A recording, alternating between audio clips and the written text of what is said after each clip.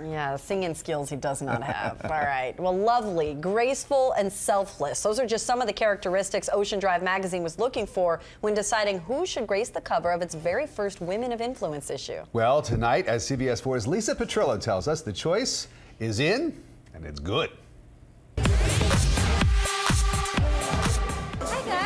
A red carpet welcome for Ocean Drive Mag's new cover star, Emmanuelle Chriqui. It's such an honor. It's such it's a beautiful magazine first and foremost. Women of influence, that's that's tremendous. Emmanuelle is no stranger to Entourage fans. You love to have a girlfriend, but on your terms. She's the one keeping the boys in check on the hit TV show and now new movie. It just was bigger and a little more time.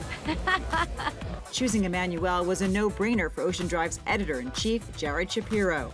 We couldn't be happier to have Emmanuelle down here and, and celebrate with us. We want women that are not only beautiful, but really have a great purpose in life and what they're doing and giving to charities. And give she does, most notably to the Environmental Media Association and Raise Hope for Congo. It's just bringing a voice to the women and girls of the Congo. It's the most dangerous place in the world for a woman to exist right now. And when she's not out saving the world or gracing magazine covers, you'll find Emmanuelle right here in South Florida.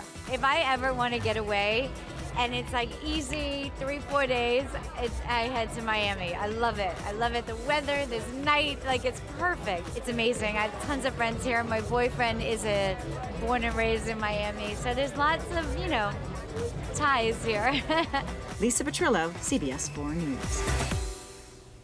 Beautiful smile there. Well, we want to introduce you to a little girl who also has a beautiful smile, and she knows a little something about R E S P E C T.